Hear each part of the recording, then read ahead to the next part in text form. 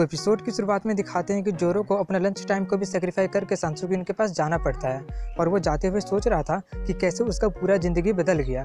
जो वो चाहता था, वो उसे ना मिलकर एक स्टोकर लड़की मिली होती है। यही सब सोचते हुए वो उसके पास लाइब्रेरी में चला जाता है। सांसुकिन उसे वहाँ देखकर उससे पूछती है तो तुम आ ही गए? जोरो कहता है कि मेरे पास और कोई चारा भी तो नहीं था। वो उससे पूछती है कि तुम उन दोनों की मदद कैसे कर रहे हो? जोरो उसे बताना शुरू करता है और सीन फ्लैशबैक में चली जाती है, जहाँ पर हिमा दो मूवी का टिकट खरीद कर जोरो को देते हुए कहती है कि उसे एक ऐसा सिचुएशन क्रिएट करना है जिससे वो और ओका दोनों एक साथ मूवी देखने जा सके। ये सुनकर जोरू उससे कहता है, तुम खुद ही जाकर उससे क्यों नहीं पूछ लेती हो? इसके जवाब में वो कहती है कि वो मेरे लिए बहुत ही ज़्यादा एम्बेरसिंग होगा, जिससे जोरो का दिमाग बहुत ही ज़्यादा खराब हो रहा होता है और वो उससे कहने की भी कोशिश करता है कि तुम पूछोगे तो ज़्यादा अच्छा रहेगा, लेकिन वो उसकी कोई भी बात ना सुनते हुए उसके गले लग जाती है और कहती है कि वैसे भी तुम उसकी बेस्ट फ्रेंड हो, तुम कर सकते हो। इसलिए जोरो मान जाता है। अगली सीन में दिखाते हैं कि जोरो जाकर ओका से कहता है कि उसके पास दो मूवी के टिकट हैं, लेकिन मैं ये मूवी पहले ही देख चुका हूँ। इसलिए क्यों ना तुम किसी और के साथ चले जाओ, जैसे कि हिमा। तभी वहाँ पर हिमा जल्दी से आ जाती है और उसे इतना जल्दी आते देख, जोरो अपने मन में कहता है कि तुम कुछ ज़्यादा ही जल्दी आ गई हो। तभी ओका एक टिकट हिमा को देते हुए कहता है कि तुम इतना ज़्यादा खुश हो चुकी हो कि तुम बिल्कुल स्पीचलेस ही हो गई हो। और आगे कहता है कि तुम्हें तो जोरो को थैंक्स बोलना चाहिए। और एक बार फिर से हिमा जोरो की तरफ़ आशा भरी नज़रों से देखने लगती है। जिससे उसका दिमाग बहुत ही ज़्यादा खराब हो रहा होता है। लेकिन वो फिर भी सिचुएशन को किसी तरीके से संभालते हुए कहता है कि अगर ऐसी बात है तो क्यों ना तुम दोनों ही एक साथ चले जाओ? क्योंकि तुम दोनों को तुम्हारे क्लब के कारण हार्डली टाइम मिल पाता है। ये सुनकर हिमा कहती है कि मैं तैयार हूँ। वैसे भी मैं कई दिनों से बाहर नहीं गई हूँ। इसके लिए ओगा मान जाता है। इसलिए हिमा उसे थैंक्स बोल रही होती है। ओगा कहता है, तुम्हें तो जोरो को थैंक्स कहना चाहिए। हिमा कहती है कि मैं उसे पहले ही थैंक्स बोल चुकी हूँ। ये सुनकर उसे थोड़ा सा अजीब लगता है, लेकिन वो मान जाता है। इसके बाद कोसमोस जोरो को अपने पास बुलाती है और उसके हाथ में लंच देखकर जोरो समझ जाता है और खुद ही उसका प्लान बता देता है कि तुम चाहते हो कि मुझे एक ऐसा सिचुएशन क्रिएट करना है जिससे तुम उसके साथ लंच शेयर कर सको। ये सुनकर वो हैरानी से पूछती है, तुम्हें इसके बारे में कैसे पता चला? जोरो अपने मन में कहता है, क्योंकि ये मेरे साथ अभी कुछ देर पहले ही हो चुका है। तभी कोसमोस कहती है, अब जब तुम्हें सब कुछ पता चल ही गया है तो क्यों ना तुम ये कर ही दो? वैसे भी तुम उसका बेस्ट फ्रेंड हो, इसलिए तुम कर सकते हो। ये सुनकर वो उसकी भी हेल्प करने के लिए रेडी हो जाता है। इसके बाद जोरो ओगा को अपने साथ कुछ सामान लेकर काउंसिल रूम में लेकर जा रहा होता है। तभी वहाँ पर कोसमोस अपना लंच लेकर आ जाती है। उसे देखकर जोरो अपने मन में कहता है कि सबसे पहले वो नेचुरली कन्वर्सेशन स्टार्ट करेगी और मैं मौका देकर उन्हें लंच के लिए इन्वाइट कर दूँगा। वहीं पर कोसमोस इतना ज़्यादा नर्वस हो जाती है कि सोच कुछ और रही होती है और बोल कुछ और रही होती है। उसे देखकर जोरो अपने मन में कह रहा होता है कि इसमें इतना ज़्यादा नर्वस होने वाली कौन सी बात है? वहीं पर कोसमोस उससे कह रही होती है कि मुँह देखना बंद करो और अपना दाव चलो इसलिए जोरो कहना शुरू करता है कि अब जब तुम दोनों दोस्त बन ही चुके हो, इसलिए शायद प्रेसिडेंट कोसमोस तुम्हें अपने साथ लंच के लिए इन्वाइट करने आई है। कोसमोस कहती है कि शायद नहीं, बल्कि मैं लंच के लिए ही इन्वाइट करने आई हूँ, लेकिन ओगा मना कर देता है। तभी जोरो कहता है कि ये हमेशा थोड़ा सा ज़्यादा लेकर आती है, इसलिए तुम चिंता मत करो। और कोसमोस कहने लगती है कि वैसे भी मैं तुम्हारा फेवरेट डिश लेकर आई हूँ, इसलिए ओगा मान जाता है। लेकिन वो जोरो को भी अपने साथ इनवाइट कर देता है, जिससे कॉस्मोस को बहुत ही बड़ा वाला शौक लगता है। लेकिन जोरो मना कर देता है कि मैं लंच टाइम में पहले ही किसी दूसरे लड़की से मिलने का प्लान बना चुका हूँ। ये बोलकर वो वहाँ से भाग जाता है। अब सीन प्रेजेंट टाइम में आता है, जहाँ पर वो सब कुछ सांसुकिन को ये सब बता रहा होता है। सांसुकिन उससे कुछ कहने ही वाली होती है, लेकिन वो नहीं कहती है। इसलिए वो उससे पूछता है, तुम कुछ कहने वाली थी ना? वो कहती है कि मेरे पास अभी पूरा सबूत नहीं है, इसलिए मैं अभी तुम्हें नहीं बता सकती हूँ। इसलिए वो कहता है, अगर बताना ही नहीं था तो तुम शुरू ही क्यों की थी? वो कहती है, क्योंकि मैं छोटी छोटी बातें तुम्हारे साथ शेयर करना चाहती हूँ। वैसे भी मैं तुम्हारी मदद इसलिए कर रही हूँ, ताकि तुम जल्दी से उनकी मदद करके खुद को इस झमेले से निकाल लो, ताकि हम लोग कुछ और टाइम एक साथ बिता सकेंगे। जोरो कहता बिल्कुल नहीं। एक बार ये सब जब खत्म हो जाएगा तो मैं एक लड़की से मिलूँगा जिसका दिल बहुत बड़ा हो और दिल से बड़ा कुछ और हो और मैं उसके साथ बहुत मज़े करूँगा। ये सुनकर वो कहती है, इसका मतलब मुझसे है ना? जोरो है बिल्कुल भी नहीं। तुम तो बिल्कुल हो ही नहीं सकती हो। तभी वो कहती है तुम उन दोनों की मदद इसलिए कर रहे हो ताकि उनमें से एक तुम्हें मिल जाए। लेकिन क्या होगा अगर ओगा पहले से ही किसी लड़की को पसंद करता हो तो? ये सुनकर जोरो को बहुत ही बड़ा बड़ा शौक लगता है क्योंकि वो इसके बारे में सोचा ही नहीं होता है। इसलिए वो उससे कहती है, अब जब मैंने तुम्हें इतना बड़ा चीज़ बताकर तुम पर इतना बड़ा एहसान कर ही दिया है, तब तुम्हें मेरी मदद करनी होगी जोरो पूछता, मदद? कैसी मदद वो बताती है कि स्टूडेंट काउंसिल लाइब्रेरी इंस्पेक्शन में तुम्हें मेरी मदद करनी होगी। इसके बाद दिखाते हैं कि जोरो ओगा के बारे में ही सोचते हुए उसके पास जा रहा होता है। वहीं पर ओगा को दिखाते हैं जो कि बास्केटबॉल खेल रहा होता है। और वो एक भी बॉल मिस नहीं कर रहा होता है, जिसे देखकर कुछ लोग कह रहे होते हैं कि ओगा कभी भी बॉल मिस नहीं करता है। तभी चोरू उससे पूछ लेता है कि क्या तुम किसी लड़की को पसंद करते हो? ये सुनकर उसका ध्यान भटक जाता है और वो बॉल मिस कर देता है। ओगा उससे पूछता है कि तुम अचानक ये सब क्यों पूछ रहे हो? जोरो कहता है, बस ऐसे ही। जोरो उसका बेस्ट फ्रेंड होने के कारण वो उसे बताने के लिए मान जाता है बट यहाँ पर नहीं, क्योंकि वहाँ पर बहुत सारे लोग होते हैं। इसलिए वो उसे बाहर लेकर जा रहा होता है, जहाँ पर पहले से ही एक बेंच रखा होता है। उस बेंच को देखकर जोरो की तो फट जाती है और वो सोचने लगा होता है कि ये बेंच यहाँ पर क्या कर रहा है। जब भी ये बेंच दिखता है, मैं बहुत बड़ी मुसीबत में पड़ जाता हूँ। पता नहीं अब कौन होने वाली है। वहीं पर ओगा उसे अपने साइड में बैठने के लिए कहता है और जोरो बिना कुछ कहे ये सोचते हुए जाकर बैठ जाता है कि और कितनी बार ये लाइन सुनने को मिलेगी। तभी ओगा कहना शुरू करता है कि मैं किसी को पसंद करता हूँ। जब भी मैं उसके बारे में सोचता हूँ, मेरा दिल बहुत ही जोरों से धड़कने लगता है। लेकिन सिर्फ़ उसे हर दिन देखने से ही मुझे बहुत ही ज़्यादा खुशी मिलती है। ये सुनकर जोरो अपने मन में कह रहा होता है कि अब और कितनी बार लोगों का कन्फेशन मुझे सुनना पड़ेगा। तभी वो चिल्लाकर कहा था कि मैं सुमेरो के सांसुकिन को पसंद करता हूँ। ये सुनकर जोरो को बहुत ही बड़ा शौक लगता है और वो अपने मन में कहा था कि वही क्यों? ओगा आगे कहता है कि ये सब पिछले साल रीजनल बेसबॉल टूर्नामेंट के दौरान शुरू हुआ था। ये सुनकर जोरो अपने मन में कह रहा होता है कि उन दोनों की तरह तुम्हारे साथ भी उसी दिन होना था। वो आगे कहता है कि उस दिन हारने के बाद मैं सबके सामने तो मैंने कंट्रोल कर लिया था बट मैं अकेले में बहुत ही ज़्यादा रो रहा था, क्योंकि मैं चाहता था कि लोग मुझे रोते हुए ना देखें। इतना सुनकर जोरो अपने मन में कहता है कि तुम पहले ही ईस्ट और वेस्ट डायरेक्शन से दो लोग द्वारा देखे जा चुके हो।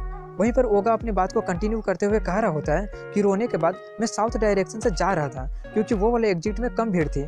और वहीं पर मैं उससे मिला था, जो मुझसे कही थी कि तुम्हारे जैसा पर्सन जो कि काइंड स्ट्रॉन्ग और लोगों के सामने अपने आँसू को कंट्रोल कर सके, वो अगली बार ज़रूर जीतता है। और उसी वक्त मुझे उससे प्यार हो गया था। वहीं पर जोरो अपने मन में कह रहा होता कि आखिर वो वहाँ पर कर क्या रही थी? तभी ओगा आगे कहता है कि मुझे पता है कि ये थोड़ा सा पैथेटिक है बट क्या तुम हम दोनों को एक करने में हमारी मदद कर सकते हो? लेकिन इस पर जोरो मना कर देता है और अपने मन में कहता है कि अगर मैंने इसका हेल्प करना शुरू भी कर दिया और उन दोनों का पता चल गया तो वो दोनों मुझे खत्म कर देंगी। तभी ओगा कहते कि अब इतना ज़्यादा मतलबी भी मत बनो। प्लीज़ मेरी मदद करो भाई। मुझे पता है कि तुम संसुकी इनके साथ टाइम बिता रहे हो।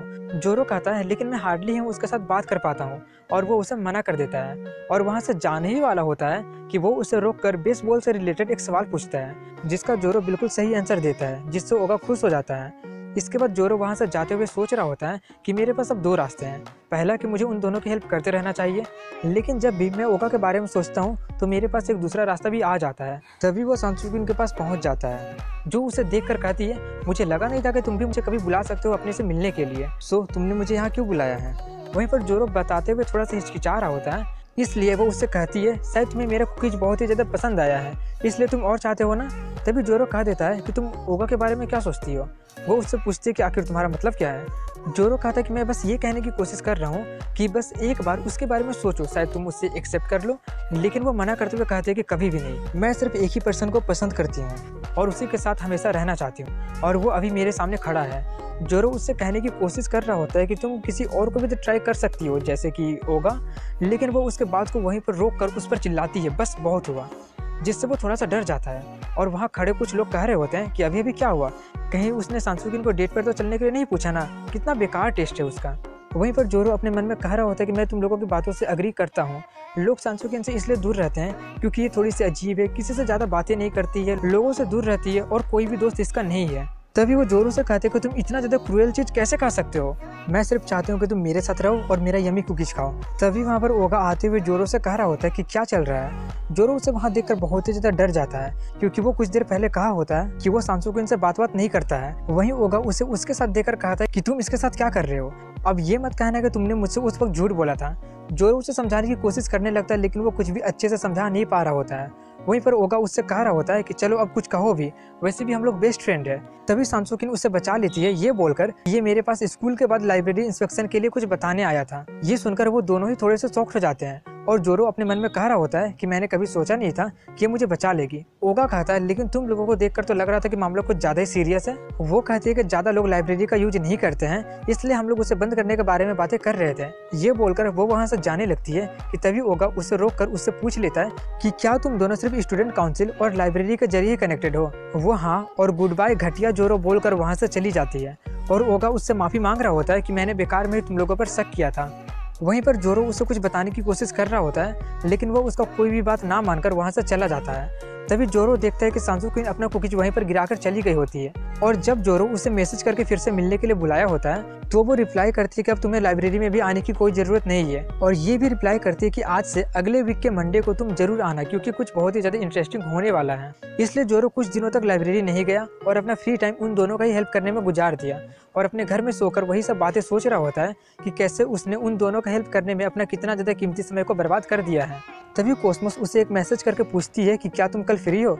जोरो हाँ कर देता है। और जब वो कल उसके पास जाता है तो वो बहुत ही ज़्यादा गुस्से में वहाँ पर बैठी होती है। और जब वो उससे पूछता है कि क्या हुआ तो वो बताती है कि ओगा उससे हेल्प मांग रहा है उससे और सांसुकिन को एक करने के लिए। और मैं स्टूडेंट काउंसिल के प्रेसिडेंट होने के कारण, मैं सांसुकिन की थोड़ी सी क्लोज हूँ, इसलिए मैं मना नहीं कर पाई। और उससे पूछती है कि तुम जानते थे ना कि वो कैसा फील कर रहा है? जोरो कहते कि हाँ मैं जानता था। तभी वो उससे कहना शुरू करती है तो तुमने मुझे क्यों नहीं बताया?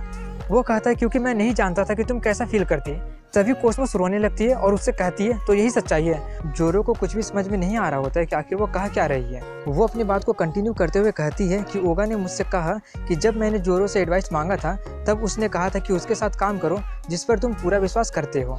इसलिए वो मुझसे हेल्प मांग रहा है। जोरो उससे कहने की भी कोशिश करते कि मैंने ऐसा कुछ भी नहीं कहा था, लेकिन वो सुनने को तैयार नहीं, उससे कह रही होती है कि झूठ बोलना बंद भी करो। और आगे कहती है कि जब वो तुमसे बेसबॉल का एग्ज़ाम्पल देकर पूछा था, तब तुमने एक सोचने लायक और बहुत ही अच्छा आंसर दिया था। अब जोरो यहाँ पर समझ जाता है कि यहाँ पर बहुत ही बड़ी मिसअंडरस्टैंडिंग हो गया है, क्योंकि जोरो को लगा था कि ओगा बस बेसबॉल से रिलेटेड एक क्वेश्चन पूछ रहा है। उसे ये पता ही नहीं था कि वो उसे रियल लाइफ में यूज़ करने वाला है। तभी कोसमस उससे कहती है कि लगता है कि अब तुम्हें समझ में आ गया है कि आखिर मैं क्या कह रही हूँ। जोरो उसे समझाने की भी कोशिश करता है कि बहुत बड़ा मिसअंडरस्टैंडिंग हो गया है, लेकिन वो सुनने को तैयार नहीं, उससे कहती है कि और कितना झूठ बोलोगे? तुमने मेरा भरोसा तोड़ दिया। ये बोलकर वो वहाँ से जाते हुए कहती है कि अब मुझे तुम्हारी कोई भी ज़रूरत नहीं है। अब मैं ओगा की मदद करने जा रही हूँ उसे जीव दिलाने के लिए। और वो भी उसे गुड बाय क्रूएल और घटिया जोरो बोलकर वहाँ से चली जाती है। और जोरो वहीं पर बैठकर कुछ सोच ही रहा होता है कि तभी उसे हीमा मैसेज करके कल मिलने के लिए बुलाती है। और कल जब जोरो उसके पास जाता है तो वो भी उसे बिल्कुल सेम चीज़ें कहती है और अपना रीजन बताती है कि कैसे वो सांसों के इनके क्लोज हैं। वहीं पर बैठा जोरो सोच रहा था कि मुझे पता था कि यहाँ पर भी कुछ ऐसा होने वाला है। वैसे ओगा कैसे इन दोनों से मदद मांग सकता है? तभी हिमा उससे पूछती है, तुम ऐसा कैसे कर सकते हो? तुमने मुझे क्यों नहीं बताया? अब जोरो यहाँ पर कल वाला ही गलती ना करते हुए ये कहता है कि मुझे नहीं पता था कि तुम कैसा फील करोगे। और ये भी बता देता है कि वो मुझसे एडवाइस मांगा था और मैंने उसे एडवाइस दे भी दिया था। लेकिन मुझे लगा था कि वो बेसबॉल के बारे में बातें कर रहा है। तभी वो कहते कि तुम बहुत बड़े झूठे हो। उसने मुझसे कहा था कि तुम इतना ज़्यादा औसम फ्रेंड हो कि जब मैंने बेसबॉल को लेकर बातें करना शुरू किया था, तभी वो समझ गया था कि मैं किसके बारे में बातें कर रहा हूँ? वहीं पर जोरो ये सब बातें सुनकर अपने मन में कह रहा होता है कि चीज़ें और कितना ज़्यादा बर्बाद होगी। और वो उसे समझाने की भी कोशिश करता है बट वो सुनने को तैयार ही नहीं होती है। और वो अपने मन में चिल्ला रहा होता है कि अरे कोई मुझ पर विश्वास क्यों नहीं कर रहा है? लेकिन इस बार वो सिचुएशन को अपने हाथ से नहीं निकलने दे सकता था। इसलिए वो उससे कुछ तो कहने ही वाला होता है कि तभी वो उसे तकिए से मार कर वहाँ से जाते हुए कहती है कि अब मुझे तुम्हारी कोई भी ज़रूरत नहीं है। अब मैं ओगा की मदद करने जा रही हूँ उसे जीव दिलाने के लिए और वो भी उसे गुड बाय क्रूएल और घटिया बोलकर वहाँ से चली जाती है और जोरो इस बार भी कुछ नहीं कर पाता है। इसके बाद कल जब वो स्कूल जा रहा होता है तो उसके साथ कुछ भी पहले जैसा नहीं हो रहा होता है। तभी ओगा आकर उससे पूछते कि क्या हुआ? आज तुम पहले जैसा बिल्कुल भी नहीं लग रहे हो? कुछ हुआ है तो मुझे बता सकते हो। ये बोलकर वो वहाँ से चला जाता है। तभी सांसो किन जोरो को मैसेज करके कहती है कि आज ही अगले वीक का मंडे है। इसलिए जोरो वहाँ पर चला जाता है और उससे पूछता है कि क्या है? क्यों मुझे परेशान कर रही हो? वो कहती है, कम से कम मुझसे तो ऐसे बातें मत करो। और आगे कहती है कि, मैं जितना सोची थी चीज़ें, उससे भी ज़्यादा इंटरेस्टिंग होते जा रहा है। वैसे भी तुमने इतना मेहनत किया उन दोनों को सपोर्ट करने के लिए, लेकिन सब कुछ बेकार हो गया। इसका मतलब लास्ट में तुम्हारा इतना ज़्यादा टाइम बर्बाद हो गया। और आखिर में मैं बस इतना ही कहना चाहती हूँ कि मुझे उनके लिए बहुत बुरा लग रहा है। क्योंकि अगर वो लोग उससे सच्चा प्यार करते तो ऐसे तुरंत उसे छोड़ नहीं देते हैं। लेकिन उससे भी इम्पोर्टेंट ये है कि आगे क्या होता है। तभी वहाँ पर ओगा कोस्मोस और हिमा आ जाती है और सांसुकिन को छोड़कर चारों एक दूसरे को देखकर बहुत ही ज़्यादा शॉक्ट हो जाते हैं। और इसी के साथ ये एपिसोड यहीं पर ख़त्म हो जाता है।